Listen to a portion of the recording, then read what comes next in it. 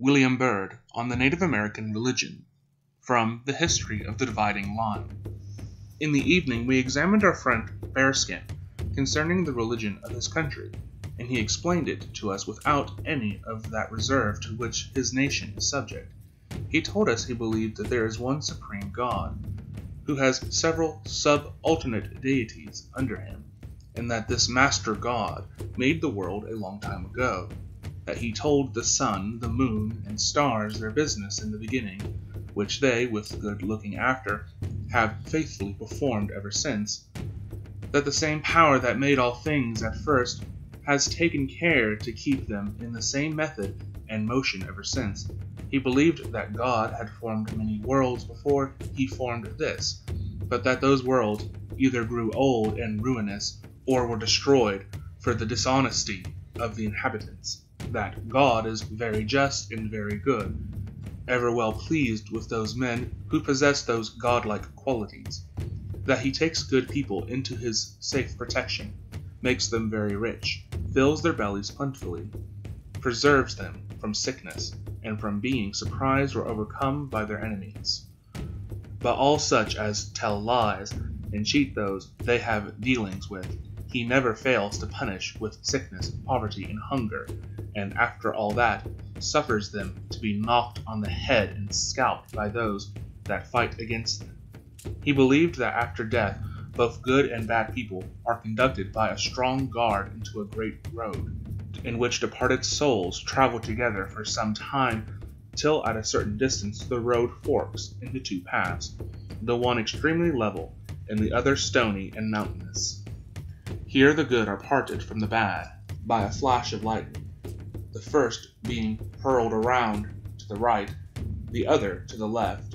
The right handed road leads to a charming, warm country, where the spring is everlasting and every month is May, and as the year is always in its youth, so are the people, and particularly the women are bright as stars and never scold. That in this happy climate there are deer, turkeys, elks, and buffaloes innumerable, plentiful, fat, and gentle while the trees are loaded with delicious fruit, quite throughout the four seasons, that the soil brings forth corn spontaneously without the curse of labor, and so very wholesome that none who have had happiness to eat of it are ever sick, grow old, or die. Near the entrance to this beloved land sits a venerable old man on a mat richly woven, who examines strictly all that are brought before him and if they have behaved well, the guards are ordered to open the crystal gate and let them enter into the land of delight. The left handed path is very rugged and uneven, leading into a dark and barren country where it is always winter. The ground is the whole year round covered with snow, and nothing is to be seen upon the trees but icicles. All the people are hungry, yet not a morsel of anything to eat except a bitter kind of potato that gives them the dry grips, and fills their whole body with loathsome ulcers that stick and are intolerably painful. Here all the women are old and ugly, having claws like a panther, with which they fly upon the men that slight their passion. For it seems these haggard old furies are intolerably fond, and expect a vast deal of cherishing. They talk much and exceedingly shrill, giving exquisite pain to the drum of the ear, which in that place of the torment is so tender that every sharp note wounds it to be quick. At the end of this path sits a dreadful old woman on a monstrous toadstool,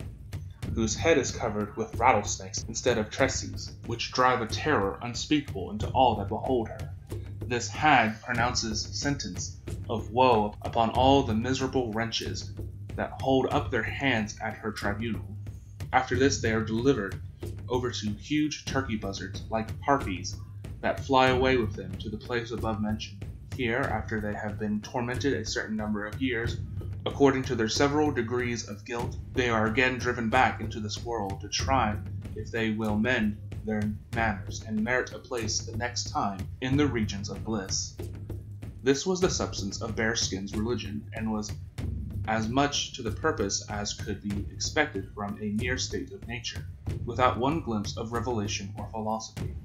It contained, however, the three great articles of natural religion the belief of a God, the moral distinction between good and evil, and the expectations of reward and punishments in another world.